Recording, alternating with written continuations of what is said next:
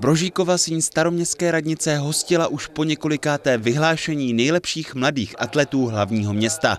Těm přišel osobně poblahopřát i radní Vít Šimral. Tak ty výkony jsou úžasné a je to ohromná reprezentace hlavního města, že tady dokážeme produkovat se, ve spolupráci s městem, s rodiči, s trenéry, celým tím zájmem takhle špičkové atlety. Skoro tři desítky mladých pražských sportovců dostali ocenění za svoje sportovní výsledky.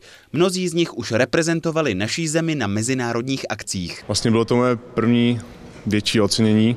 Dokázal jsem ho vlastně dostat z nějakých mých úspěchů, co jsem dokázal v letošní sezóně ve vrhu koulí. Dokázal jsem se kvalifikovat na mistrovství světa, dokonce jsem mi podařilo vyhrát i mistrovství republiky a myslím si, že jsem to zakončil docela dobrým osobním rekordem s výkonem 18,58 metrů. Cením si toho moc, protože si myslím, že jsem jako na to měl a že se mi to podařilo. Myslím si, že se mi docela dařilo na, na 60 metrech a asi na osmistovce. Největší hvězdou vyhlášení pak byla desátá nejlepší atletka České republiky a juniorská mistrně světa z finského Tampere, Amálie Švábíková. Přece jenom je to zlatá medaile z mistrovství světa a celkově celého toho roku se velice vážím, protože se povedlo všechno, co mělo a co mohlo a jsem za to velice vděčná a moc šťastná. Na předávání přislíbil atletům radní i spolupráci při budování nové atletické haly. My jsme v zastupitelstvu teď odhlasovali vlastně studii proveditelnosti, na kterou dáme Českému atletickému svazu 1 milion korun.